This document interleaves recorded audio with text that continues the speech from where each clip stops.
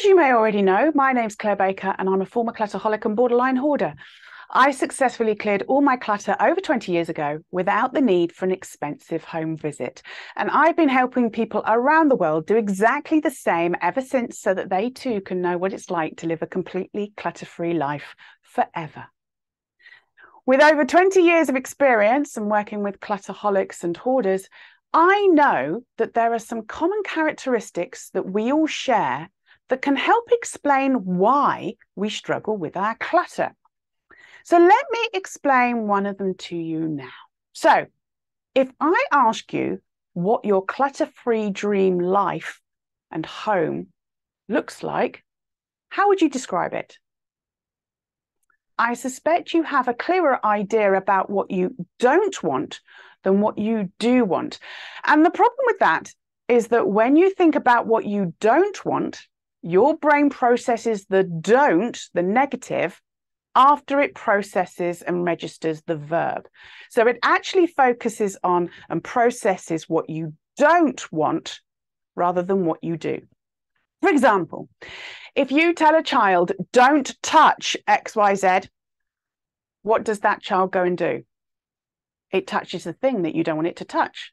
That's because their brain hears and processes touch that thing before it hears and processes the don't. Top tip if you don't want someone to do something, be specific about what you do want them to do, because their brain will only focus on the verb. We need to apply the same principle to our clutter clearing. We need to focus on what we do want rather than what we don't want. But how do we do that if we only know what we don't want? Hmm.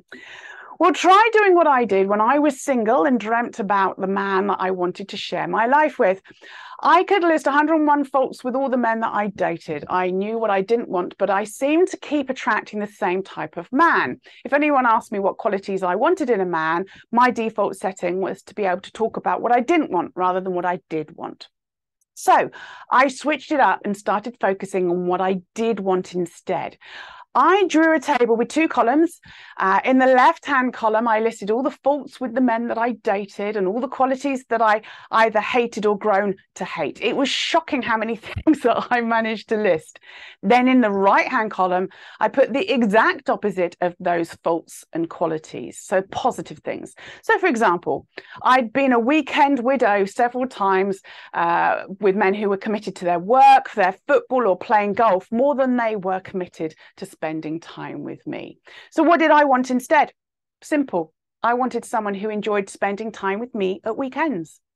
Now, here's the actual list of what I, uh, I created with my positives. I still have it nearly 20 years later, in which I can tick all of the things uh, apart from one in relation to my husband, which is how I knew that he was actually the man I wanted to spend the rest of my life with.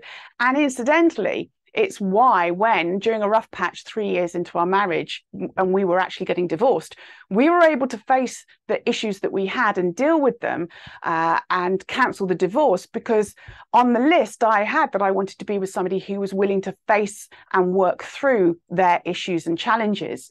And that uh, definitely helped uh, with us learning and growing together.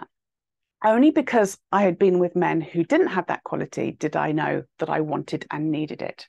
Now, it can be surprisingly hard to think of the positive opposite of what you don't want, but it's definitely an exercise worth doing to get clearer about your clutter free dream. You can always go one step further and turn the positives into affirmations to say to yourself each day. That's what I do. Uh, and you'll notice that when you start focusing on the specific, detailed positives of your clutter free dream, you'll start to notice the progress that you make towards that dream, which in turn will help you to motivate you to keep going through the bad days and the tough weeks that we all have when we're clearing our clutter.